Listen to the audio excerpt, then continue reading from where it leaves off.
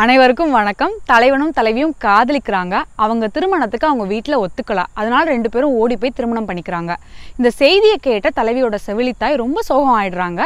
ஏன் சோகம் ஆயிடுறாங்க அப்படின்னு பார்த்தா தலைவி போகிற அந்த பாலைவன பகுதி இருக்கு இல்லையா? அது ரொம்ப மோசமானதாக இருக்கும். அதில் போகிற தன்னோட மகள் துயரப்படுவா அப்படின்னு நினச்சி சோகம் ஆயிடுறாங்க. அப்படி அவங்க சோகமாக பாடுற பாடுறதான் தான் நாம் இன்னைக்கு பார்க்க போகிறோம் ஞாயிறு காயாது மரநிழல் பட்டு மலை முதல் சிறுநெறி மனமிகத்தாய் தன் மழை தலையின்றாக நம் நீத்து சுடர்வாய் நெடுவேல் காளையோடு மடமா அறிவை போகிய சுரனே. இந்த பாலைத்திணை பாடல் இடம்பெற்ற நூல் குறுந்தொகை இந்த பாட்டை பாடினது கயமனார். நன்னீத்து சுடர்வாய் நெடுவேல் காளையோடு. நம்மளை நீங்கின இந்த பொண்ணு என்ன பண்றா அப்படின்னா நீண்ட வேலையுடைய தலைவனோட உடன்போக்கு போறா. மடமா அறிவை போகிய சுரனே. மடமா அறிவைனா ரொம்ப இளமையான ரொம்ப அழகான ஒரு பொண்ணு அப்படின்னு பொருள். போகிய சுரனே அப்படின்னா அந்த பொண்ணு உடன் போனா அந்த பாலைவன பகுதி சுரன் பாலைவன பகுதி. அந்த பாலைவன பகுதி பொதுவாக எப்படி இருக்கும் அப்படின்னு நமக்கு தெரியும். ரொம்ப வறண்ட பாலைவனமாக இருக்கும். அங்கே மழை எதுவும் பெய்யாது. அதில் போகிறவங்க ரொம்ப சிரமப்படணும். அந்த மாதிரியான ஒரு பாலைவன பகுதியில் தான் தலைவி வந்து உடன்போக்கு போகிறா ஆனால் தலைவியோட செவிலித்தாயால் அதை ஏற்றுக்க முடியல.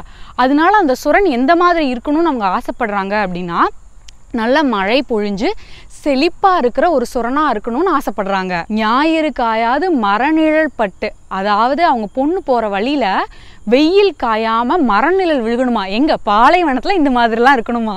மலை முதல் சிறுநெறி மனமிகத்தாய் தன்மழை தலையின்றாக. மலை முதல்னா மலையோட அடிவாரம். தன்மழைனா குளிர்ந்த மலை. தலையின்றாக அப்படின்னா பெய்கன்னு அர்த்தம். எப்படி மலையோட அடிவாரத்தில் குளிர்ந்த மழை பெஞ்சு அதனால மனம் வீசி இருக்குமோ அந்த இடம் மொத்தமும் அதே மாதிரி தன்னோட மகள் உடன்போக்கு போகிற அந்த பாலைவன பகுதியிலையும் அவளோட மேலே மழை பொழிஞ்சு அந்த இடமும் பசுமையாக இருக்கணும் அப்படின்னு தலைவியோட செவிலித்தாய் ஆசைப்படுறாங்க. இந்த பாடலை கேட்கும்போதே தலைவி ஒரு குறிஞ்சி நில தலைவின்னு தெரியுது. அதனால தான் அவங்க அம்மா அவள் போகிற இடமான பாலைவனம் கூட அவங்க ஊர் மாதிரியே ரொம்ப மழை பொழிஞ்சு அழகாக இருக்கணும்னு ஆசைப்படுறாங்க. எனக்கு இந்த பாடலை கேட்கும்போது நிலவே மலரே படத்தில் மண்ணில் வந்த நிலவே என் மடியில் பூத்த மலரேன்னு ஒரு பாடல் வரும். நதியாக அவங்களோட குழந்தைய பார்த்து பாடுற மாதிரியான பாடல். அந்த பாடல் வரிகள் தான் நினைவுக்கு வருது. அந்த பாடல் வரிகளையும் நான் சொல்கிறேன் நீங்களும் கேட்டு பாருங்க. எட்டி நிற்கும் வானம் உன்னை கண்ட நேரம் பக்கம் வந்து தாளாட்டும். அந்திமழை மேகம் இந்த மலர் தேகம் தொட்டு தொட்டு நீராட்டும். புன்னையிலை போலும் சின்னமணி பாதம் மண்ணில் படக்கூடாது. பொன்னழகு மின்னும் உன்னழகு பார்த்து கண்கள் படக்கூடாது. இந்த பாடலை எழுதினது வாலி. இந்த பாடலை கட்டாயம் வாய்ப்பு கிடைக்கும் போது கேட்டு பாருங்க. அதை இந்த செயலோட பொருத்தி பாருங்க. ரொம்ப பொருத்தமா இருக்கும்.